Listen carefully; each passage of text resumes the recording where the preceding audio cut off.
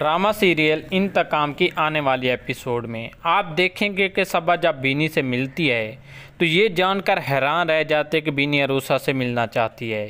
ताकि वो अरूसा से माफ़ी मांग ले, क्योंकि बीनी को एहसास हो गया कि अरूसा ठीक थी। और वो तो हमेशा बीनी का ही भला चाहती थी, लेकिन बीनी ने उसे गलत समझा। दूसरी तरफ़ मोहसिन बहुत परेशान होता है, क्योंकि सैमा की बेजा ख्वाहिशात ने उसे रिश्वत लेने पर मजबूर किया था। और अब मोहसिन पर रिश्वत लेने का जुर्म साबित हो गया है। और मोहसिन को पुलिस गिरफ़्तार कर लेती है।